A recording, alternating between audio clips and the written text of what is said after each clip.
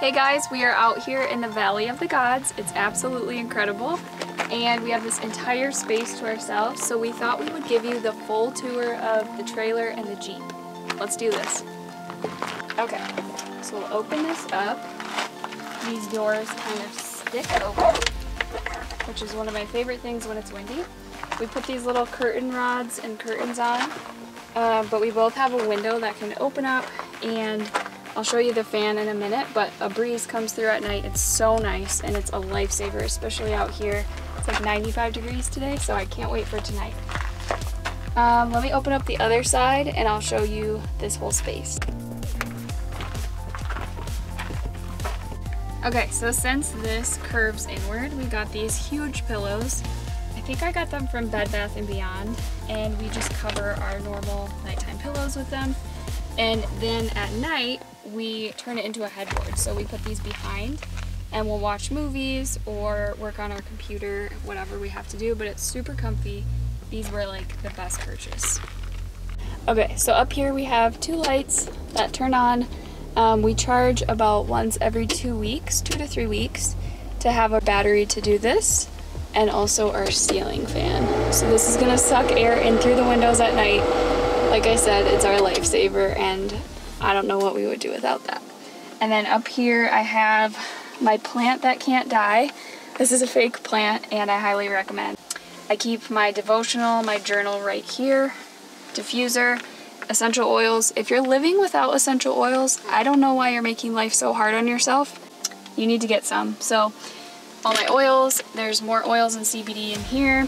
Up here we each have one of these baskets and they are velcroed so that they can't fly off. I keep warm things, pajamas, a couple of washcloths. Uh, I have a couple of pockets that will put chargers or you can throw your watch or your cell phone in there. This is also Velcroed and we have our headlamps, some vegetable capsules just in case you need to make anything, some mace just in case, and a Rubik's Cube. Okay, and then over on Riley's side, we have extra blankets. I also have some extra blankets down there. We have, I will let him explain this, but this is our little charge pack. He has a journal and an idea book. We actually sketched out a lot of things about our trip in this um, because I put it in a stocking two years ago. So he still has that, a little leather catch-all for whatever, um, speaker, and then he also has one of these. We keep wipes when we are camping all the time. They are a lifesaver. You can wipe your feet before you get into bed. Sometimes when I wake up in the morning, I'll wash my face with one. Um, they are like, you need these if you're camping. Normally we use the Young Living ones, but they're so nice that we don't want to use those on our feet or anything like that. So we use those ones. We have headphones, charging cables for this, and work gloves. We throw any of our stuff for the night down here because this is a full-size bed and there's actually a little gap. So we'll throw our books or our laptop here and it stays perfectly. It's awesome. Otherwise it's stored in the Jeep. And that's it. That's the trailer.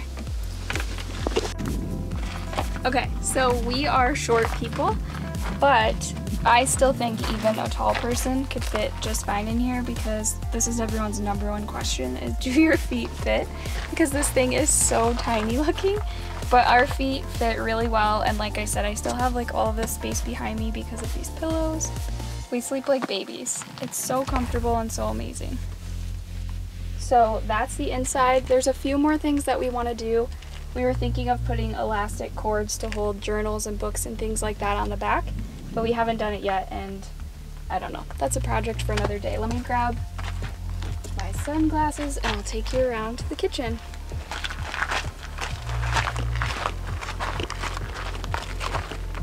This opens up to probably my favorite part.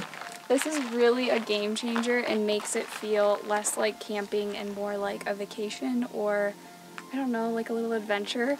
Um, it's so cool that we can take it wherever we want it. So let's break this down. We have a two burner stove and it runs on propane. So we just hook that up down there and we can cook whatever we want. That's where I make my coffee. It's really the best. There's this little pocket drawer. Just for randoms, we throw everything in here. Those are really helpful. And then here is kind of like a pantry. I do keep the propane in there. Also some cans, coconut oil, um, stasher bags, and then our pots. So we have this pot and we have a little cast iron pan that we use. This drawer is all of our seasonings. We just got addicted to this one. Putting it on fruit is probably the best thing ever. And then this is all of our silverware, utensils, and then like less used stuff. Then over here we have our cooler. Riley built this slider, which is a back saver. I can't even imagine pulling the cooler out. Um, we did get this used and we've done a lot of DIY stuff. So Riley's going to explain what he did exactly, but this is one of the things. We keep our wash bucket here and it extends down deep so that we can do all of our dishes. Um, we just keep that there when we're traveling. And then our cooler here, slide that back. Up here, I like to keep most of our fruit, snacks for hiking. Um, what else do we have up here? We have a loaf of bread, some tortillas, and these slide out because Riley built them on little kitchen, um, yeah, kitchen appliance sliders for your kitchen. Appliance is the word. And then um, this is something we're really proud of. Do you want to talk about this or should I? You can talk about it. So originally I just wanted to use all the space possible and we thought about this being really cool and pretty to have mason jars here. So they are on a little magnet strip up there and we can put anything, coffee, spices, nuts, snacks, and they just stick right back. We have had some really bumpy roads where things are flying out. These are out of their spot. Normally they don't, but really bad roads, and these have not budged. They have never fallen, so it totally worked, and we're really proud of that and think it looks really cool. We have it on both sides, so over here I have like garlic, lentils, nuts, more coffee, always coffee. I could fill this one with whatever I want. Um, we have our little coffee station here, so our kettle, we have a little pour over situation. I keep our little oven mitts and then our cooking oils. And the reason this stays put is we did Velcro again, so we can stash things back here and those don't break or move out of their spot. Up top we have our cutting boards and then this is like a little piece of pottery Riley's mom gave to me. So we put our rings in that if we are cooking or don't want them to get dirty um, a few bowls, a little pot. We have our wine glasses, um, and then a couple extra towels. This is the cutting board that our wedding cake was served on. So I thought it would be special to bring it with us and use it for platters, having coffee in bed. Um, I just think it's cool to have it because it was part of our wedding.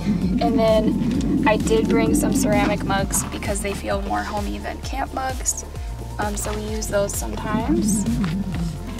And then we have our plates and bowls. These are bamboo, so we bought them thinking we wouldn't break them, and we actually broke two of the bamboo bowls, so pick your poison. They're actually really cool though, and we love them. And then these are our camp mugs. Um, Snow Peak, these are the double wall. Um, we got them for each other as a gift. So I think I got Riley one, was it for Christmas? Yeah, I think so. And then you got me one for the next birthday or whatever so that we could match. Um, but they're amazing. I actually use them more than the ceramics because they keep stuff hot for so long and they're just the best. They're the best camp cups ever.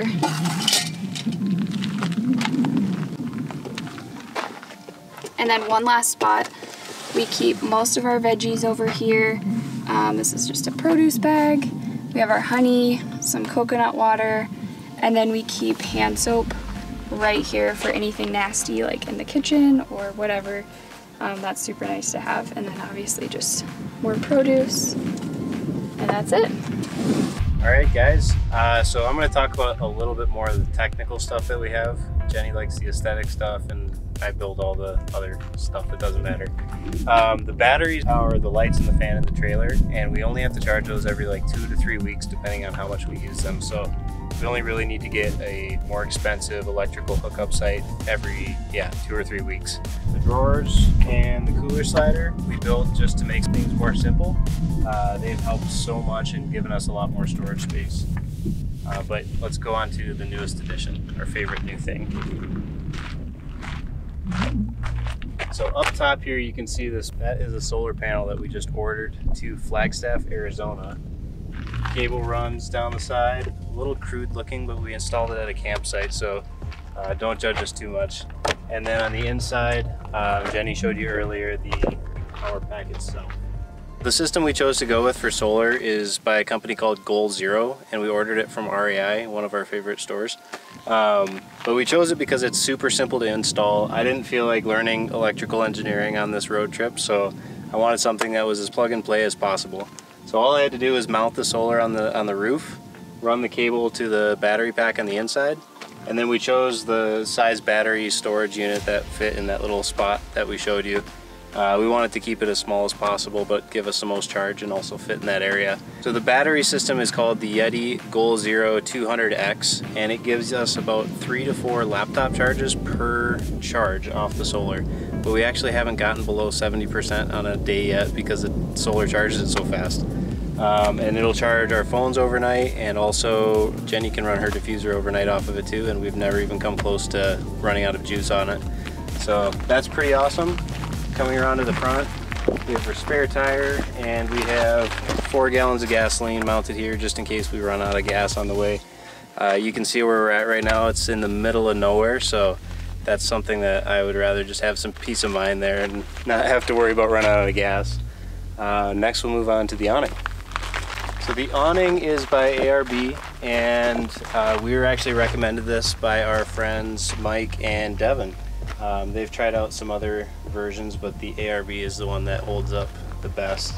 Uh, it takes about one minute to set up, and it gives us shade and shelter in the rain or sunlight, and it is insane how much better it makes our camper feel. We absolutely love it. We call Um, it the living room. Yeah, this is our living room.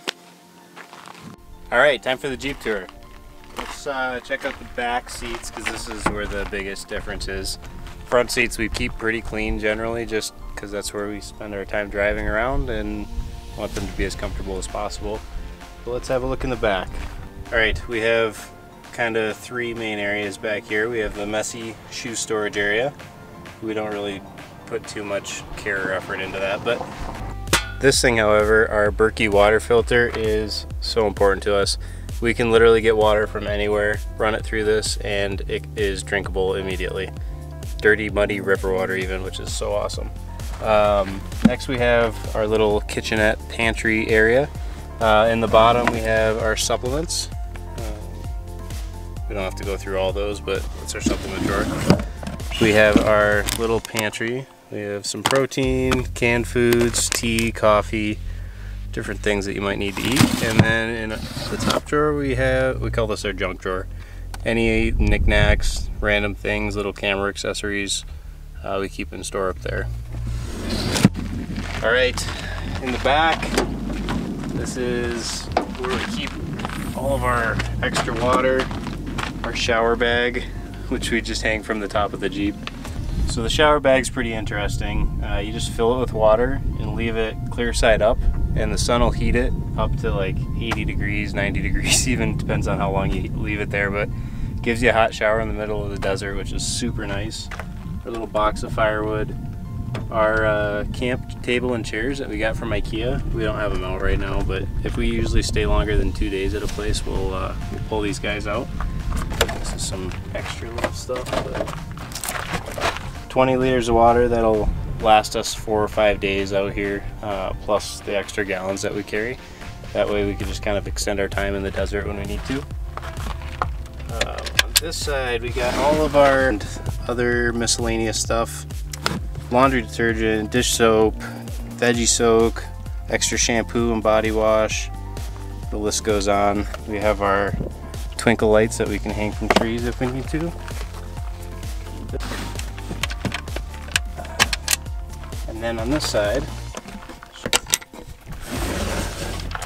this is like my side. We got bear mace, hammock, um, extra propanes for the stove, and fire extinguisher, camp shovel, um, some toilet bags, compostable, and then I have some hand tools for in case anything goes wrong. Um, what was it? Day four or five when we were in the Trona Pinnacles.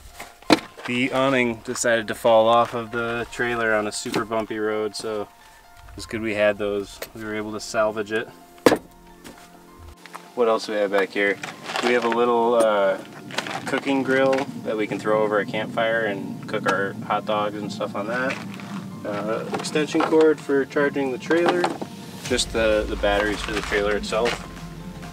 Uh, let's move on to the driver's side. Start up here. This is our Thule extra storage. We just keep anything that uh, we don't use very frequently up here. Mostly the $16 Harbor Freight drill I bought to uh, put the solar in.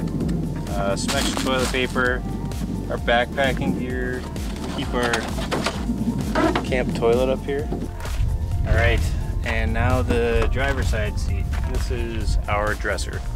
So this board that it's on is just some plywood from Home Depot, but it's essentially the platform for the pantry on the other side as well as the dresser on this side to have a foundation. That way it's not bouncing all around. And there's some legs in the front that uh, keep it from tipping forward and back. But it's pretty easy. We just got, whoa, that's Jenny's drawer. Um, yeah. my drawer up top here. The latches keep them from flying out when we take corners and stuff like that. Yeah, keep, each of us have to fit all of our clothes in their own drawer, um, which was tough. We have some hats, and then this bag we keep like just some cold weather clothes, some jackets and sweaters and stuff, and our toiletries and bathroom accessories. And that's pretty much it. That's uh, the whole tour of the Jeep and the trailer, how we're living out of it right now did take a little while to kind of get used to, but we're enjoying it now. We're loving this view and this lifestyle for sure.